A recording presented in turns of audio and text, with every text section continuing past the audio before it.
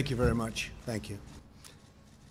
We're here today to provide an update on the unprecedented testing capacity developed by the United States, the most advanced and robust testing system anywhere in the world, by far. This afternoon, I'll also announce new steps that we're taking to make tests even more widely available. To battle the virus, my administration marshaled every resource at our nation's disposal public, private, military, economic, scientific, and industrial, all at your disposal. We launched the largest manufacturing ramp up since the Second World War. There's been nothing like it since. At the center of this industrial and scientific mobilization was the development of our coronavirus testing capabilities. In the span of just a few short months, we've developed a testing capacity unmatched and unrivaled anywhere in the world, and it's not even close. This is a core element of our plan to safely and gradually reopen America and we're opening and we're starting, and there's enthusiasm like I haven't seen in a long time. Every American should be proud of the amazing array of talent, skill, and enterprise our nation has brought to this challenge. In three months, the FDA has authorized more than 92 different tests, and over 9 million have been performed here in the United States. Three weeks ago, we were conducting roughly 150,000 tests per day now we're doing approximately 300,000 tests per day, a 100% increase, and it will go up substantially from that number. This week, the United States will pass 10 million tests conducted, nearly double the number of any other country. We're testing more people per capita than South Korea, the United Kingdom, France, Japan, Sweden, Finland, and many other countries, and in some cases combined. On Friday, the FDA authorized coronavirus antigen test, an alternative testing technology that can be much more readily manufactured. Quidel Corporation, which makes this newly authorized point of care test, estimates that it will be able to manufacture 150,000 tests per day, immediately increasing to 300,000 tests per day within just a few weeks. To further expand our nation's testing capabilities this afternoon, I am announcing that my administration is, and it, we've got this all approved, it's all done, is sending $1 billion to America's states, territories, and tribes. So this has all been approved. We've gotten it done, completed. The money is going out. This major investment will ensure that America continues to conduct more tests than any country on earth by far.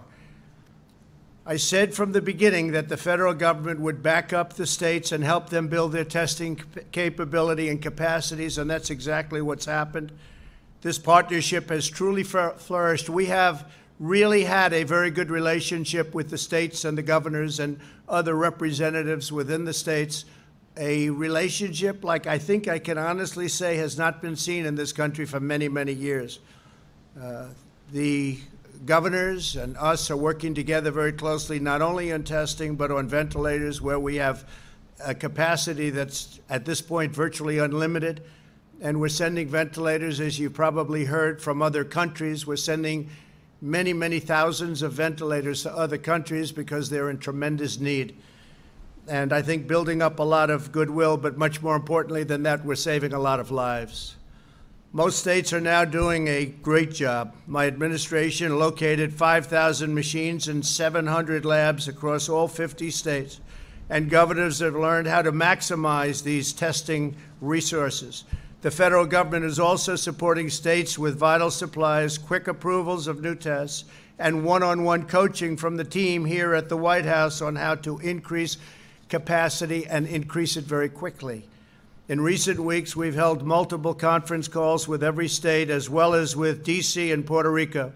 We jointly developed testing projections and goals for each state for the month of May, altogether totaling 12.9 million tests. Think of that 12.9 million tests. Today, I'm announcing that my administration will provide the collection supplies to help states meet their targets and meet them rapidly. During the month of May, FEMA and HHS will be delivering 12.9 million swabs to states nationwide. We already have them. The delivery will be very quick. We're prepared to provide millions of additional swabs if any state is on a pace to surpass its goal. and their goals are very high. We've set them very high. We've told them to set them very high. My administration will also provide approximately 9 million transport media, which are used to transfer swabs to the lab processing, a complicated process, but we've made it simple. As a result of these actions, every single state will be able to test more people per capita in May alone than South Korea has tested in four months since the outbreak began. This major commitment is possible because of the massive mobilization of American industry, including Puritan Medical Products, U.S. Cotton, Abbott Labs, and Thermo Fisher. Some of these incredible companies produced and produced rapidly for us, and their products are here with us this afternoon. These are all different products that were literally just developed and uh, if you can imagine that, and these are the best machines and the best uh, equipment anywhere in the world, and other countries are calling us, and we're trying to work as much as we can, not only on ventilators, but also with testing. My administration also continues our tireless effort to expand testing in the most underserved communities. Through our partnership with the private sector, leading pharmacies and retailers are now operating over 240 testing sites across the country, and that's in addition to all of the other sites that we have working. 70% of these sites are located in communities with unique vulnerabilities. There will be more than 300 sites by the end of this week, and retailers are making plans to open up hundreds and hundreds more locations within the next 30 days.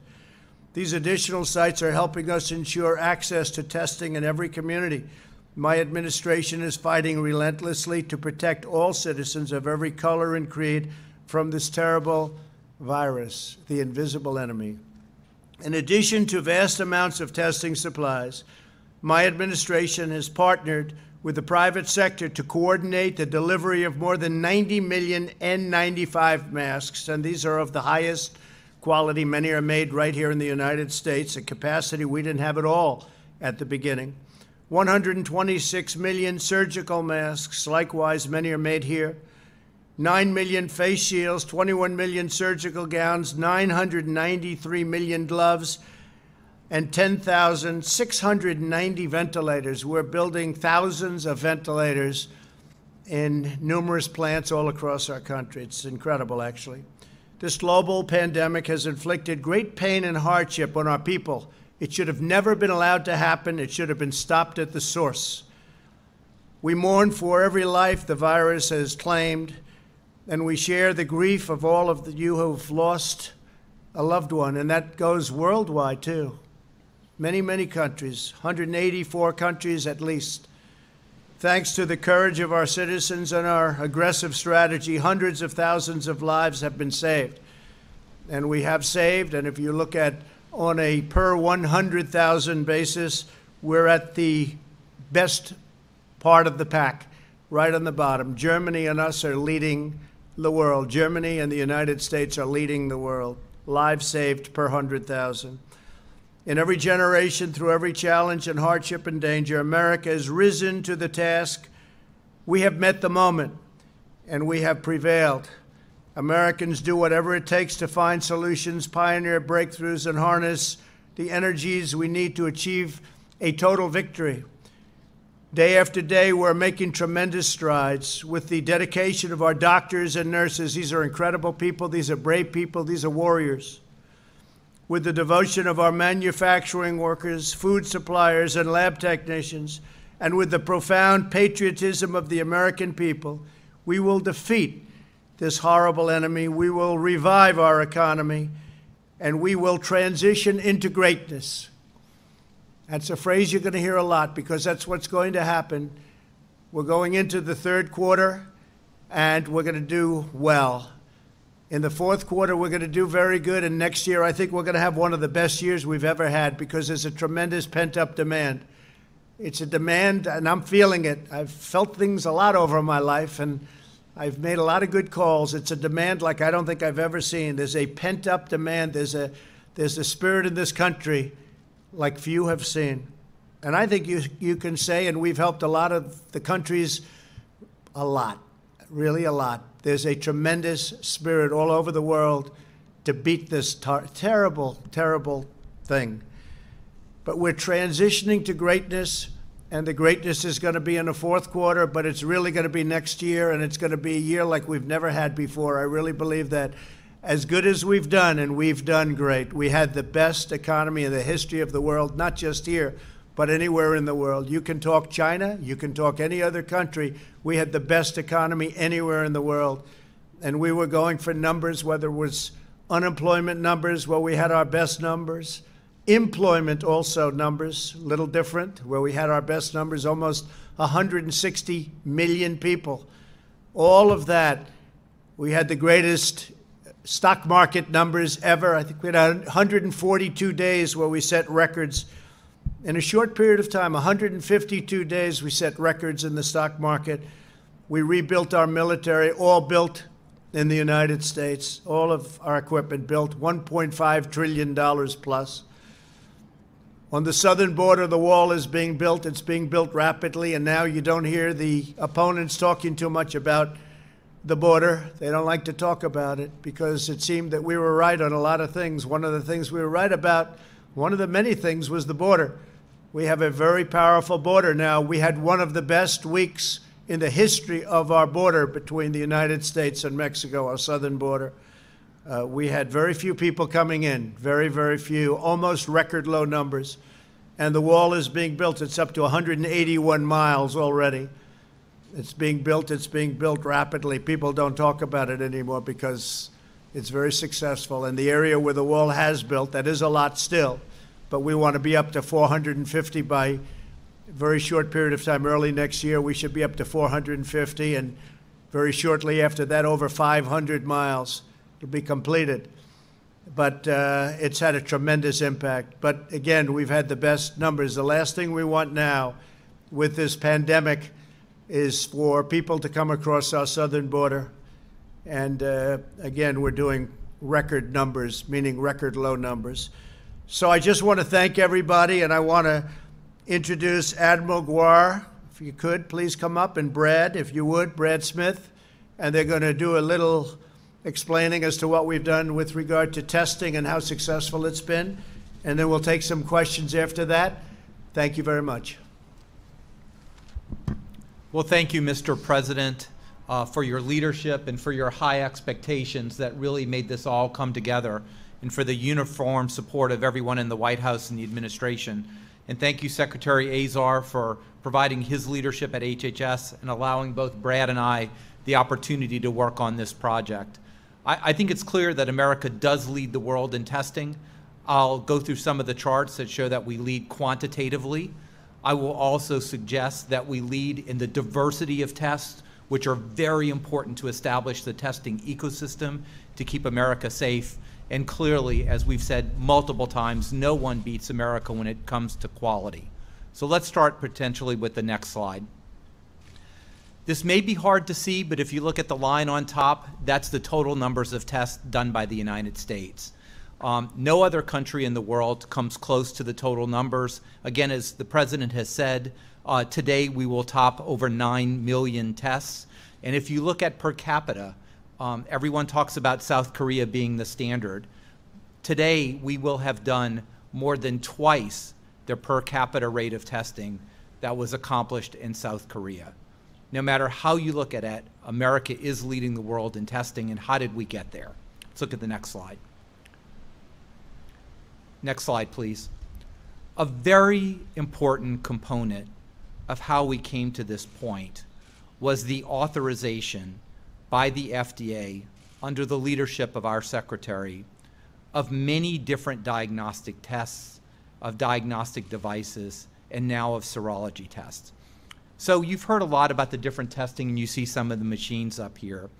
Most of the diagnostic tests, all but one, rely on the amplification of the viral RNA, the viral uh, genetic material. And we've talked to you about the diversity of tests. They're very high throughput tests that are done at big reference labs like LabCorp and Quest. But very importantly, there are also tests, and you heard us talk about Cepheid, delivering over 2 million tests, vitally important to rural Americas uh, and to uh, places that do not have very large infrastructure.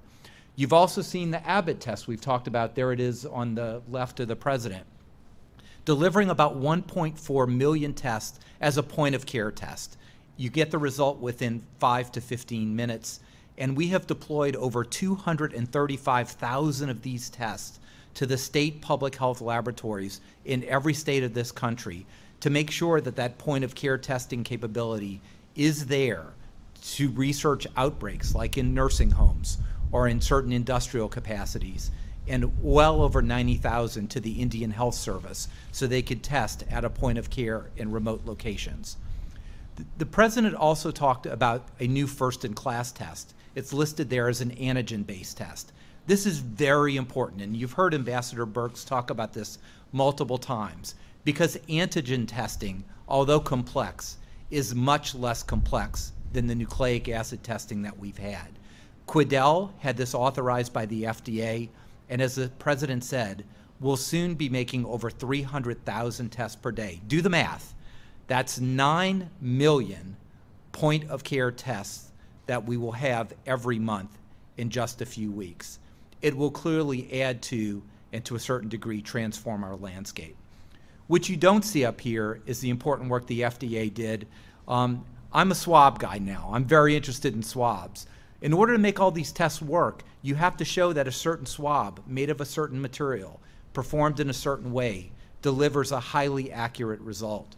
And what you're seeing up here is some of the fruits of that labor. Without the authorizations of, for example, the foam nasal swab, we would be blowing through PPE all across the country because of the need for full PPE just to take a test. That has really been changed by this diverse authorization, and a recent authorization allows the great manufacturer, U.S. Cotton, to join our foundational industry of Puritan. Next slide. Last week we did over 1.9 million tests, and that number is growing. And again, as the president said, and Brad will talk about, our states aspire to do well over 12 million tests over the next four weeks. You see the graph growing, which you also see very importantly is that little orange bar on the bottom is the cumulative number of positives. Our percent positives are going down, and that's what we want to see. In fact, in 31 states as of last night, the positivity rate is less than 10%, which is not a litmus test, but is a good idea that we're doing plenty enough testing that we can enter phase one for careful reopening. I also want to take the opportunity to say this doesn't happen by accident. I'm seeing everyone in the audience here, and I'm so pleased that they can be here. Um, people sitting in the front have been working literally 18 to 20 hours a day, every single day of the week, for at least the past two months. None of this happens by accident. It happens because their hard work, their sacrifice, their sacrifice of their family, all for a common good. And I'm very, very honored to consider you all as my colleagues. In my last slide, as the president said, um, $11 billion are now being announced to be delivered to the states for the sole support of testing. This will give them the resources to partner, as they have, with the federal government, with the president, the vice president, the task force, with Brad and I, to achieve their testing goals. And we're going to be very specific, and they know it, that need, there needs to be minimum numbers to be planned to test. They have to have plans for their vulnerable communities, including nursing homes, including those who are disabled, including those who are in prisons or who have working environments that they may uh, have a more likelihood to spread the infection. And combined with that, the Secretary's Office of Minority Health uh, will soon be awarding a large contract to guarantee a national network of state, local, and community-based organizations to assure that those underserved, particularly racial and ethnic minorities, are linked to the services they need, not only testing, but in care as well. And with that, I'd like to hand it over to Brad Smith, who's the director of the Center for Medicare and Medicaid Innovation, but has really been the chief operating officer to make all of this come together. Brad. Thank you, Admiral. I want to talk through a little bit specifically the work that we've been doing with the states.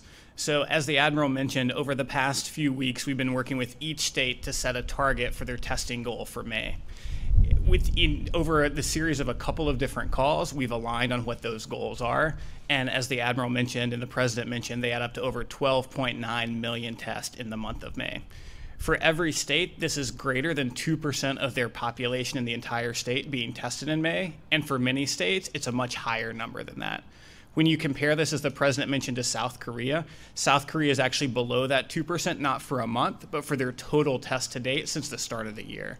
And so our states have come together to set really ambitious goals that we're excited to support them in meeting. If you go to the next slide. As I talked about last time in the press briefing, there are really three parts to making sure that a test can happen. The first part is the specimen collection supplies. The second part is the machines, and the third part are the lab supplies that the machines need to run. And what we've been working to do is to make sure that each state has all three of those parts to be able to conduct the number of tests. The first part is the specimen collection supplies. Uh, the commercial market today is providing a large number of these supplies already to states and already to hospitals. But we wanted to ensure that every state had more than what they needed to be able to conduct the number of tests they're aiming in May. So what we've done is we've purchased enough tests to support the state testing goals for May and June. Uh, so we will be sending more than 12.9 million swabs and over 10 million media to the states over the course of May and a similar or greater number over the course of June. In addition, we have several million in reserve, so if states are able to exceed their goal in the third and fourth week of May, we can provide them even more swabs and transport media. And again, this is in addition to what's already available on the commercial market. If you go to the next slide there are large numbers, has been talked about many times, a large number of testing machines across the country, over 5,000 different machines uh, that can conduct these tests. The key part is making sure that the machines and that the labs have enough supplies to run the machines. There will be in the month of May commercially produced over 25 million test kits, which is either the PCR and extraction kits or the cartridges, to be able to support test in their in their effort uh, states in their testing effort. And what we've been working to do with each state is understand their total goal and each of the manufacturers has been a great partner with us and told us how many tests they're shipping to each lab in each state over the course of May. And what we know is that in the aggregate, the number of test kits the state is getting is greater than their testing goal for the month of May.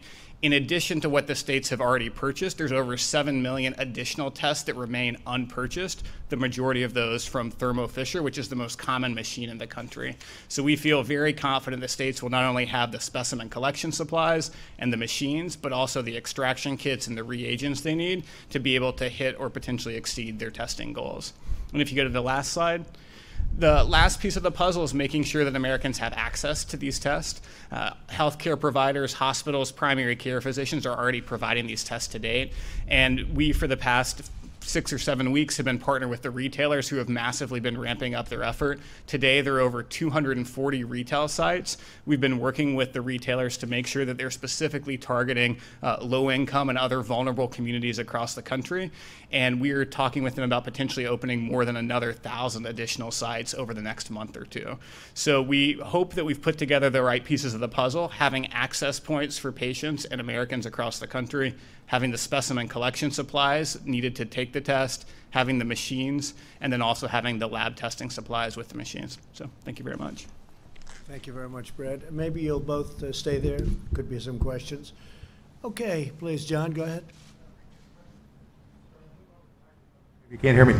Um, we had a situation here at the White House on Friday where a member of the vice president's staff tested positive for coronavirus, which has now caused three of the top U.S. officials involved in the coronavirus response to self-isolate. Uh, two-part question, where did the system break down to allow that to happen? And where, what would you say to employers to look at the experience here at the White House and say, are we ready for this?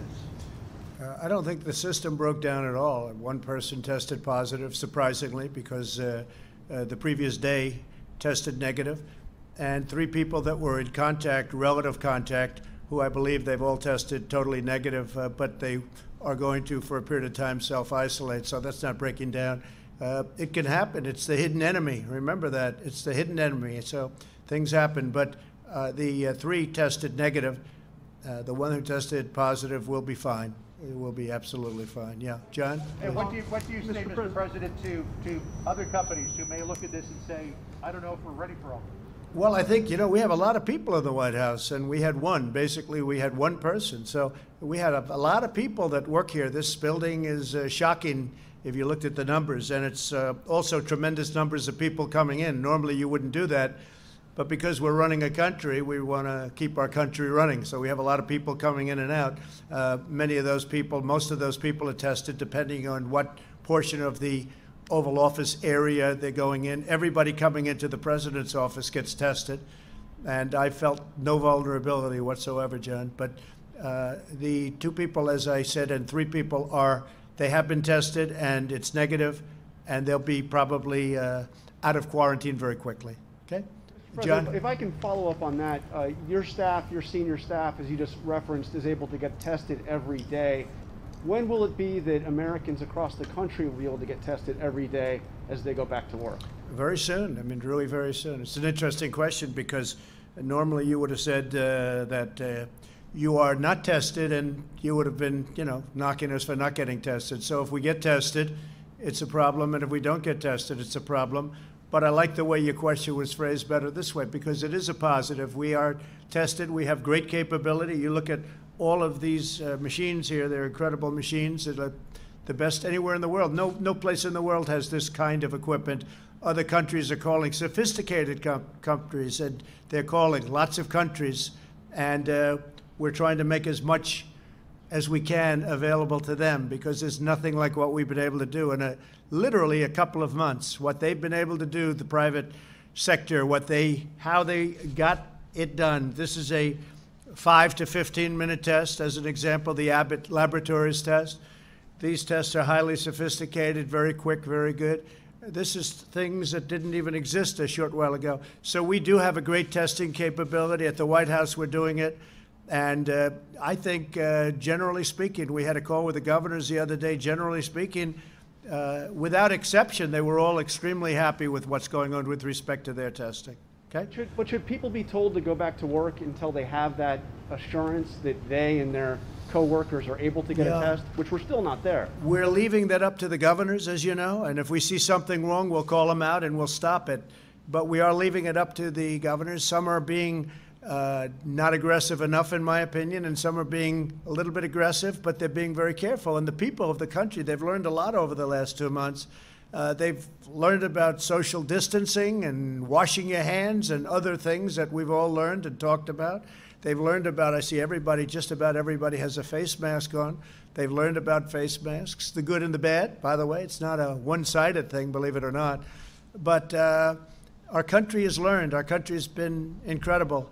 And you see the numbers, they're dropping very substantially. The numbers are dropping around uh, our country very, very substantially. So we leave that, John, up to the governors, and I think they're making a lot of good decisions. We've had, as I said, a great relationship with governors, Democrat and Republican, and I think uh, overall they're making uh, very good decisions. Nobody in this group. All the ones behind the rope. That's interesting. Please. Uh, Thank you, Mr. President. You said in your comments earlier, we have met the moment we have prevailed. Uh, to you, sir, is the mission accomplished, even with 1.4 No, we prevailed on testing, is what I'm referring to. That was with regard to testing. Uh, you never prevail when you have 90,000 people, 100,000 people, uh, when you have 80,000 people as of today, when you have this, the kind of death you're talking about, when you have potentially millions of people throughout the world that are dying, that's not prevailing. What I'm talking about is we have a great testing capacity now. Uh, it's getting even better. There's nobody close to us in the world, and we certainly have done a great job on testing. And testing is a big, is a very big, important function. By the way, some people consider it more important than others, to be honest with you. But testing certainly is a very important function, and we have prevailed. We have the best equipment anywhere in the world.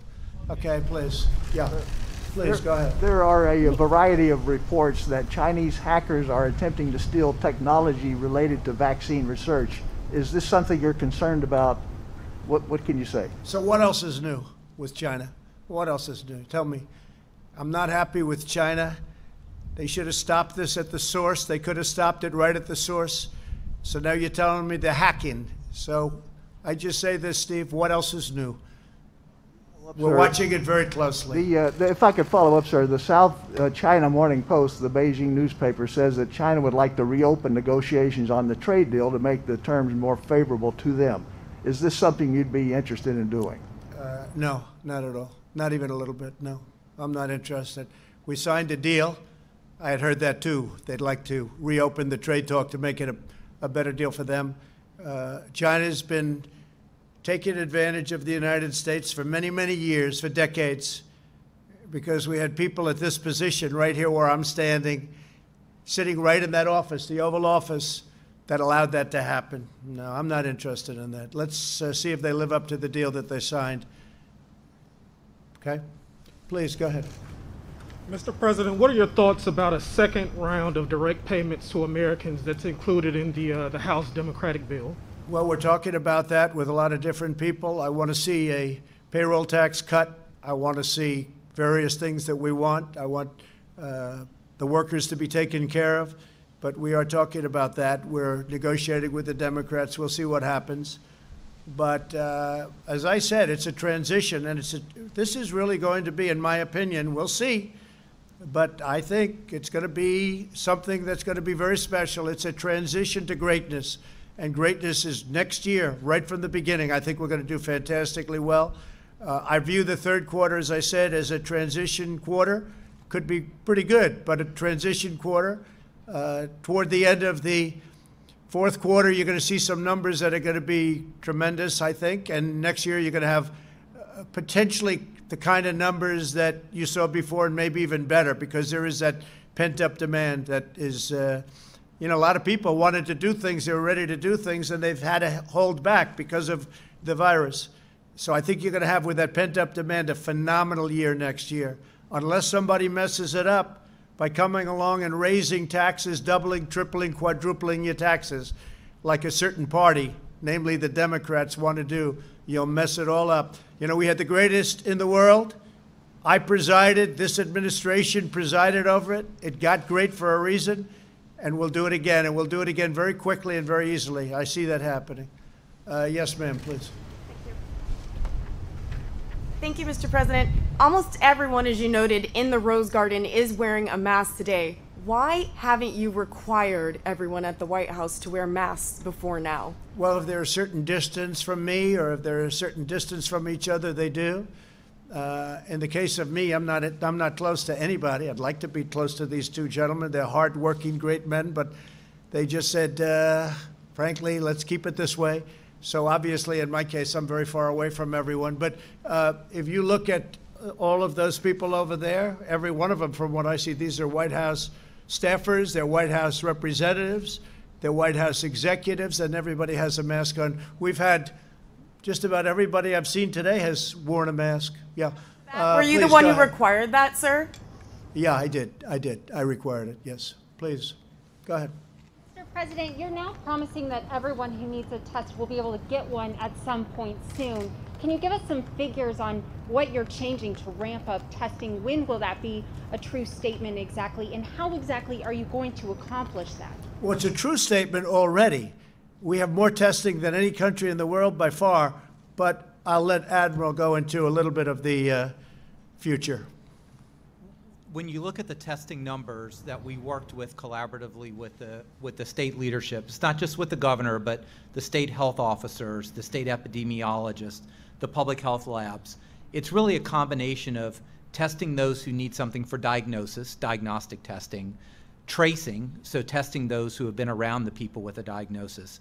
But the largest fraction of that is really moving into surveillance. That is testing those who are asymptomatic.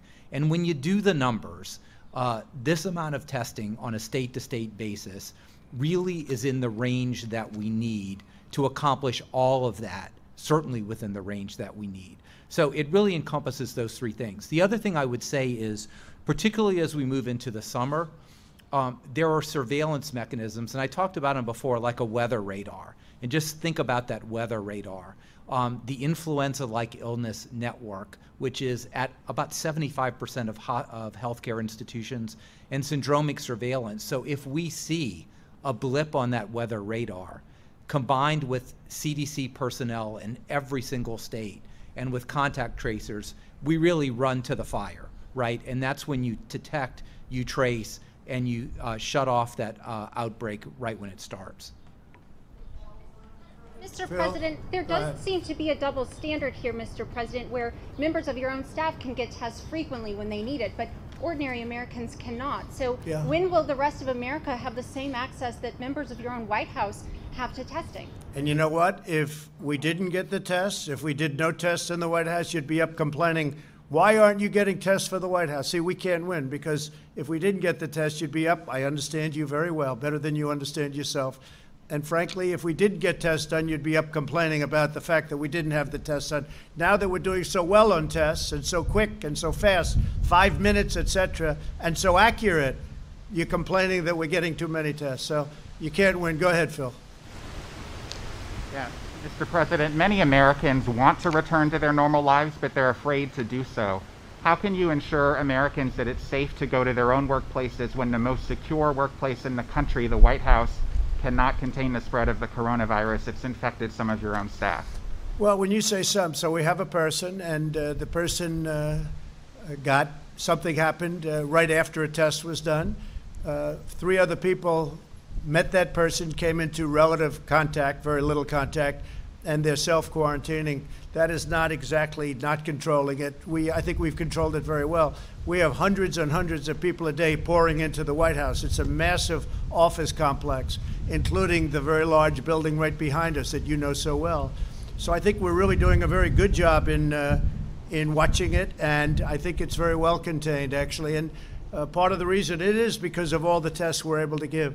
But it was one person, and the other people were only people. They're quarantined. You understand this, Phil? They're quarantined for a specific reason. The reason is they were in the general proximity of the one person, and the one person, I believe, will be fine in a very short period of time. Why hasn't Vice President Pence followed the CDC guidelines of self isolation and, and other people who might have been exposed Well, to that? I'm going to have to a- ask that he, he will give you that information. Whatever he is proceeding and doing, he will give you that information. I'll make sure that they put out a notice. John, go ahead, please. Uh, Mr. President, up, up until now, it's thought that the most vulnerable people were those above the age of, of 60 or 70 or 80, and the children were pretty much, uh, I don't want to say immune from this, but weren't affected by it. But all day long in the news today, we have been hearing and seeing this terrible syndrome Yeah. that some 85 children have now. Three of them have died. What is the task force uh, talking about in terms of that, and, and what could be done about Yeah, it? Yeah, we're seeing that all over the world now with young children. Very, very tiny percentage, but it's still, it's uh, the swelling and the skin rash. And we're looking at that very closely, John. It's a, uh phenomena that's just been brought to everyone's attention a couple of weeks ago. Uh, Admiral, you may have something to say about that. Um, So thank you for pointing that out. And again, uh, I've said many times, I'm a pediatrician and a pediatric ICU doctor. Um, This syndrome, which we call, uh, or similar to Kawasaki syndrome, it has been seen in a novel coronavirus before, and it's associated with illnesses. So we have a very strong activation on this. Uh, We do know treatments for this, uh, but the CDC is act, is interacting actively with the Pediatric Intensive Care Unit Network uh, to uh, create case definitions and to understand um, how this is going and if there are predispositions. Uh, the National Heart, Lung, and Blood Institute, I spoke to Dr. Gary Gibbons, who directs that, who is advancing many research projects uh, uh, based on that. Um, the ASPR, the Assistant Secretary for Preparedness and Response, has a team out um, in several areas looking at if there are any special treatments. Uh, we know what the basic treatment is, but this is a little bit different than we normally see. So there really is uh, an activation among all the branches within HHS, working with networks uh, at children's hospitals and ICU nets. Um, it is a small percentage, but it is quite frightening. Uh, and this reflects the fact that this virus affects the vasculature. We see clotting, we see strokes. And this is a vasculature phenomenon of inflammation we see in children. President, with, with this newly emerging syndrome now among young children, what do you say to parents who would like to get their children back to school but are now looking at this and potentially afraid to do that? Well, again, it's a tiny percentage, but you're right. So we're looking into it very strongly. And the Admiral, as he said, he's known about this for long before this happened. Uh, but uh, it is a very, very small percentage. And people recover from that. The children recover from that. Right? Ye- Yes, sir. Most do recover uh, from this, but it is a it is a serious and it can be a fatal condition Um, so um, we do want to make sure that um, parents understand that high fevers, uh, red rashes, particularly in your child, you may need to contact your healthcare provider. There are treatments uh, for this. They work very effectively if, if gotten early, at least for the vast majority of the cases. We're studying that very closely, and it's uh, been on the radar for weeks, actually, because we've seen this uh, for quite a while. But it's been uh, very rare, but we're, uh, we're looking at it very closely. It's very important to us. I think one of the things we're most proud of is this just came out deaths per 100,000 people, death. So deaths per 100,000 people. Germany and the United States are at the lowest rung of that ladder, meaning low is a positive, not a negative. Uh, Germany and the United States are the two best in deaths per 100,000 people, uh, which, frankly, to me, that's perhaps the most important number there is. Please go in the back, please. Thank you. Thank you, Mr. President. I have a, two questions, one on the Ahmaud Arbery case and one on um, the coronavirus. The first on the coronavirus, the, pre- the vice president is said to be in some sort of self-isolating, um, keeping his distance from people. What do you say to Americans who say, "How can you? How can you keep me safe? How can you reopen the government if even the vice president is self-isolating? And why hasn't testing gotten up to to the point where every American who wants a test can get a test?" Well, the vice president, first of all, has been tested, and he's negative, and it was tested yesterday, tested today, and he's negative. Uh, he's in very good shape, and I think that that's going to be fine. As far as uh, Americans getting a test, they should all be able to get a test right now. They should be able to get a test. That's the problem with a question like that. We go through a whole announcement saying we're number one in the world by far, by a factor of two and even three and four, depending on where you're looking and I get a question, when will everybody be able to get tested? If somebody wants to be tested right now, they'll be able to be tested. As far as uh, uh, the incident at the I think it's horrible, and it's certainly being looked at by many people. I'm speaking to many people about it. Uh, he uh, looked, I saw the picture of him in his tuxedo. It was so beautiful. I mean, he looks like a, a wonderful young guy. Uh, would have been a wonderful, uh, I mean, just a wonderful guy. I think it's a horrible thing. I think it's a horrible thing. Now, with that being said, as you know, they're studying the case very carefully. They're interviewing everybody involved, and we'll see what happens. To me, uh, it's a very sad thing. I spoke to uh, a number of people that are very much involved in it. I've been following that one very closely. It breaks your heart to watch it. It breaks your heart, and certainly the video was a uh, was a terrible looking video to me. But you have a lot of people looking at it, and uh, hopefully uh, an answer is going to be arrived at very quickly. But it, it's something that is heartbreaking. Specific question about the case, if I could ask it. The, the specific question I have is, you said that there are possibly are things that happened that that that were not recorded on the tape. Could you expound on what you mean by that and your thoughts Yeah. on? What, Well, I saw the tape, and when they moved left, I don't believe, when they moved left outside of the tape, uh, nobody saw what was going on. Nobody saw, th- it's an empty spot on the tape, I guess. Now, do they have additional tapes? I hope. But I will say that it's something that, uh, based on what I saw, doesn't look good. Somebody that I have a lot of respect for is uh, Senator Scott of South Carolina. You know who I'm talking about. He's a great gentleman. He's a great senator. He's a great gentleman. Tim Scott. Uh, and I called him two days ago. I said, Tim, what do you think? Tell me. What do you think? Uh, he's very disturbed by it. He's very disturbed, and I'm very disturbed also. Uh, please go ahead.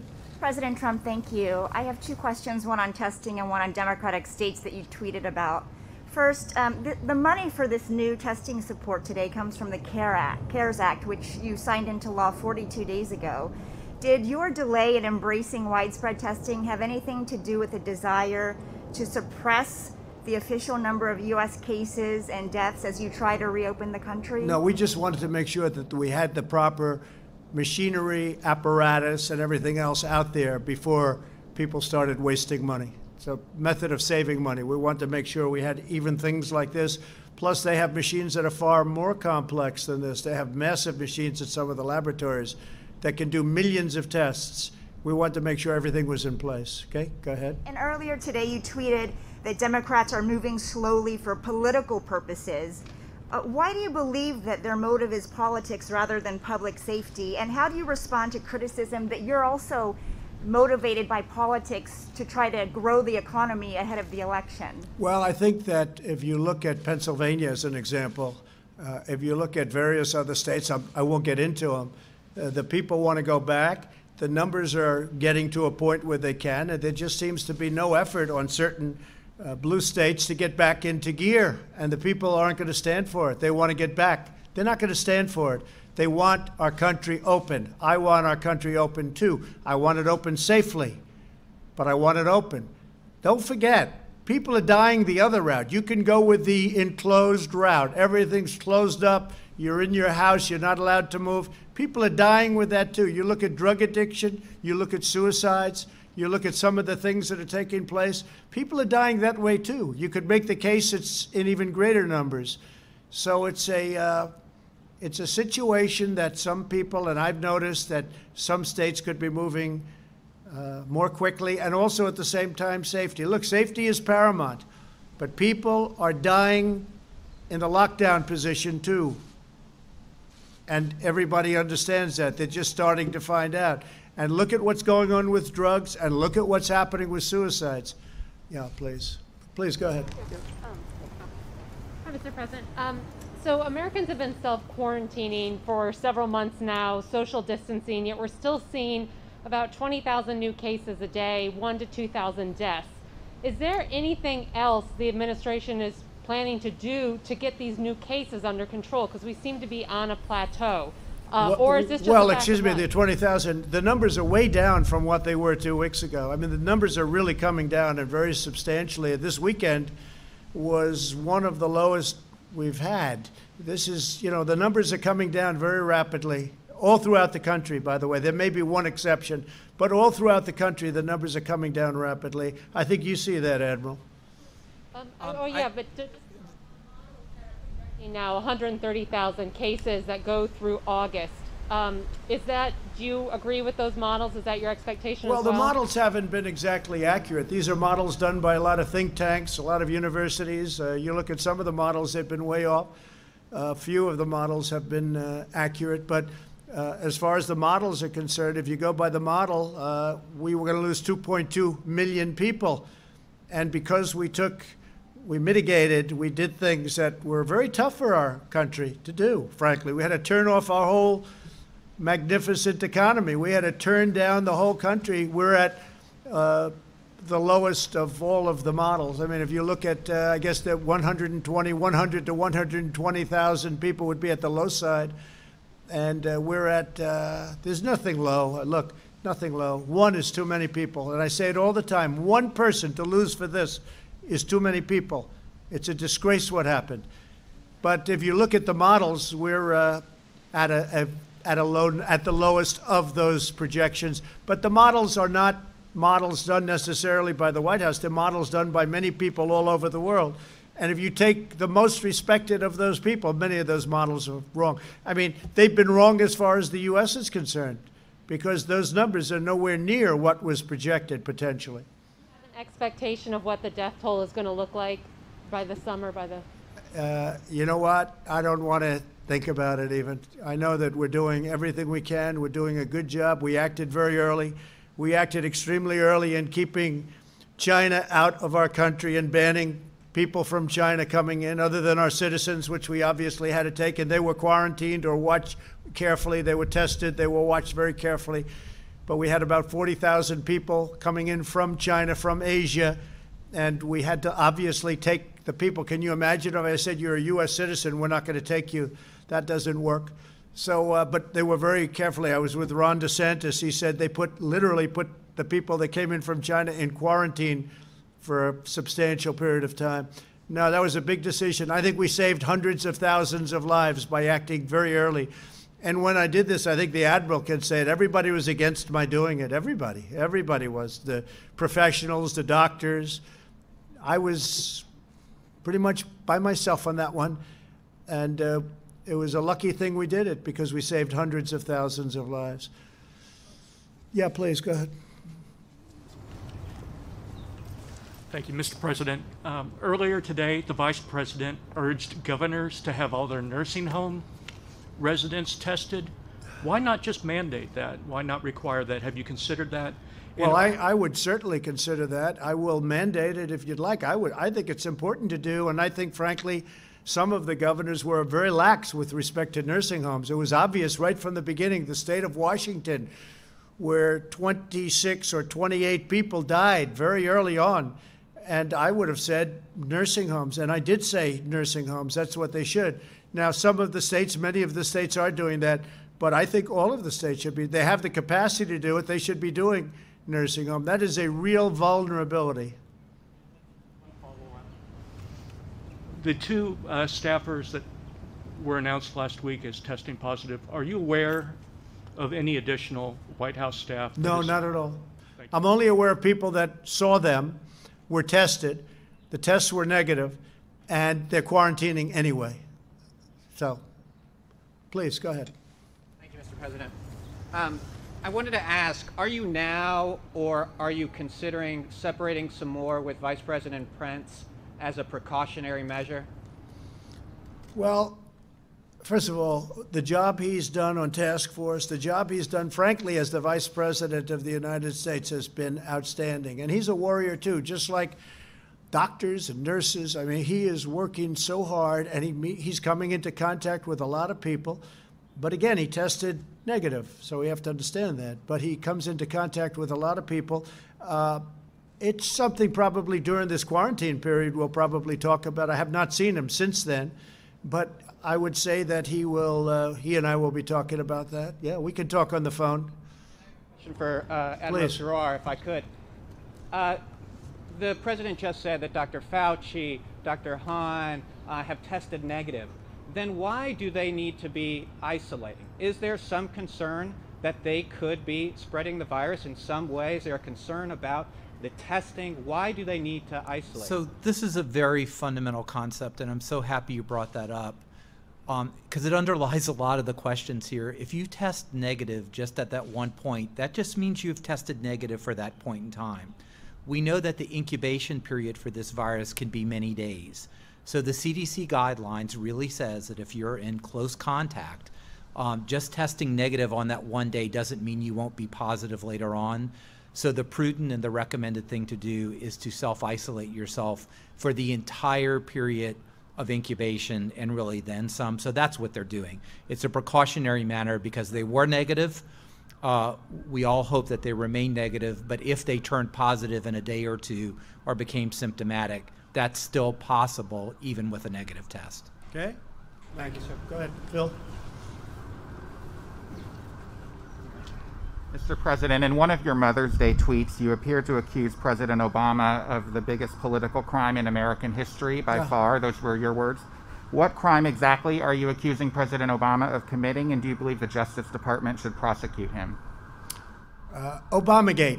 It's been going on for a long time. It's been going on from before I even got elected. And it's a disgrace that it happened. And if you look at what's gone on, and if you look at now all of this information that's being released, and from what I understand, that's only the beginning. Uh, some terrible things happened, and it should never be allowed to happen in our country again. And you'll be seeing what's going on over the next, over the coming weeks. But I, and I wish you'd write honestly about it, but unfortunately, you choose not to do so. Yeah, John, please. Crime. What is the crime exactly that you're Uh, accusing him of? You know what the crime is. The crime is very obvious to everybody. All you have to do is read the newspapers, except yours. Uh, John, please. Yeah, Mr. President, if I can just uh, get a clarification on the on the testing, we've seen clearly that the numbers of tests have gone up. There have been Yeah. some advancements in testing, but you've said twice here today that every American who wants a test can get a test. Yes. Uh, that's not the case. 1.9 million tests per day is far short of every American that wants a test to be able to get. Well, I'm going to have the Admiral, but I will say just from listening and hearing, like you do, we all do, not everybody should get a test because they have to have certain things and they're going to know when they're not feeling right. Those are the people that will be getting the test. But, Admiral, I'll let you take it from there, please. So everybody who needs a test can get a test. We have plenty of tests for that.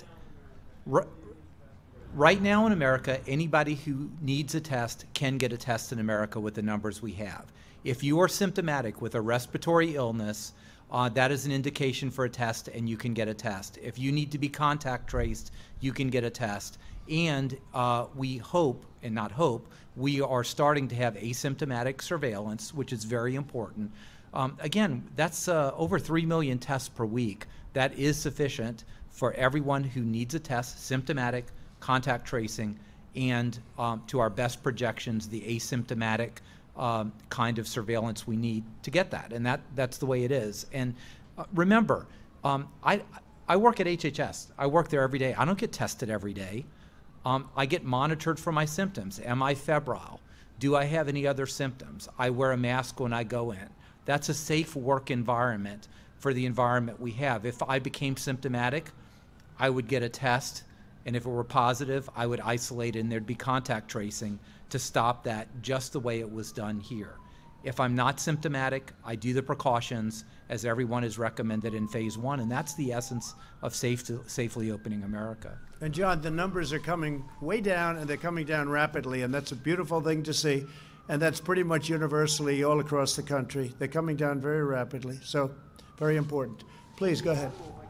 The Admiral, if so, so, so Americans who are going back to work shouldn't expect and shouldn't need, shouldn't want to have the same thing that people coming to work here at the White House have, which is the ability to get tested regularly, regardless so, of symptoms. Is so let me let me clarify as well. People who come into close contact with the president get tested on a regular basis. Okay, if I were not in close contact with the president specifically, I would not get tested. Like most people here do not get tested. That's a very specific circumstance. Um, when I work at HHS, I go at HHS, I don't get tested. I do the exact thing that we ask Americans to do to monitor your symptoms. If you are symptomatic, self isolate, get tested. With one of our community based testing sites at your hospitals, um, there are even at home testing now that has been authorized. And, and to cooperate, that if you need to be contact traced, be contact traced and cooperate with your local public health. But not everybody who walks in here gets tested every time they do. If you're symptomatic, here at HHS, at a meatpacking plant, at a school, you need to get tested. And the meatpacking plants now are doing very well. There's great testing around those plants. And we're finding out who had the problem. They're being quarantined, and uh, the meatpacking is uh, moving along very nicely. But they were, uh, they were trouble spots. They were hot zones, definitely. Please. And you know, one, one thing I think is very important, though, John, just to finish, uh, we have now, and nobody says it, they just don't want to write it, by far more tests than any other country in the world, not even a contest. And the quality of our test is the best anywhere in the world. That's very important to say. Please go ahead. So to make sure I understand the White House's position, are you saying that right now you feel there is enough testing, adequate testing across the United States, or do you feel that it needs to be ramped up, and by how much, if so, does it need to be ramped up? We've been, I think we've been clear all along that we believe, and the data indicate, we have enough testing to do the phase one gradual re reopening that has been supported in the in the president's plan and the task force plan. Um, and it has to be a phased reopening. Nobody's saying turn the light switch on and everyone go because then it would be Im really impossible to control the spread of the spread of the virus. Um, you know, there are many, many models out there. The Rockefeller Foundation published uh, their recommendations of about 3 million tests per week. That's exactly what we're doing. If you look at our agent-based models, it's far below that. If you take the Safra Center at Harvard and correct their misassumptions, like on the sensitivity of the test, the mitigation processes, and how many people get hospitalized, you get about that number. Now, I am not going to come here and say we can absolutely swear it's God's truth that this is the number we need. But we know we have enough to open, and we're going to be very careful with our ILI net, with our surveillance programs, and with the data come in to inform us even further as we grow and learn. And I think Brad. And let me just add a little bit to that because most days I don't come to the White House to work. I either go to FEMA or I go to HHS. And let me just talk you through what the protocols are there because I would never get tested if I wasn't coming to the White House. So every day when we come in, we get our temperature taken and we get asked questions about if we have symptoms. Uh, if you don't, then you enter the workplace. And then there's hand sanitizer all over the place in rooms that are made for conference rooms. They put pieces of paper that say uh, don't sit in essentially every other, or every third seat to separate people. And so there's a lot of precautions that we're taking in the federal government that are separate from testing, and those are the precautions that the agencies that Admiral Giroir and I are working at every day are using to let us continue working. If people want to get tested, they get tested. We have the greatest capacity in the world, not even close. If people want to get tested, they get tested. But for the most part, they shouldn't want to get tested. There's no reason. They feel good. They don't have sniffles. They don't have sore throats. They don't have any problem. If they do feel there's something happening, they have the absolute uh, easy. In fact, uh, Ron DeSantis of Florida, the governor, is doing a fantastic job in Florida. He said he's got a little bit of the opposite problem. He's got so much testing that people sit around and wait for people to come in, that they have a far, a great overcapacity for testing. And there are numerous other states that have told me the same thing. That's, by the way, a good problem, not a bad problem, okay? Uh, yeah, go ahead, please. Said many times that the U.S. is doing far better than any other country when it comes to testing. Yes. Why does that matter? Why is this a global competition to you if every day Americans are still losing their lives and we're still seeing more cases every day? Well, they're losing their lives everywhere in the world. And maybe that's a question you should ask China. Don't ask me, ask China that question, okay? When you ask them that question, you may get a very unusual answer. Yes, behind you, please. What, sir, why are you saying that to me specifically? I'm telling you. I'm not saying it specifically to anybody. I'm saying it to anybody that would ask a nasty question That's like that. That's not a nasty Please go ahead. Why does it matter? when Okay, uh, anybody else? Please, go ahead in the back, please. I have two questions. No, it's okay. But We'll you pointed to me. I have two questions, Mr. Next, President. next, please. But you did. You called on me. I did, and you didn't respond, and now I'm calling on Sorry, I just the young lady in the back, please. I just wanted to let my colleague Okay. finish. But can I ask you? a Ladies and gentlemen, thank you very much. Appreciate But it. Thank you very much.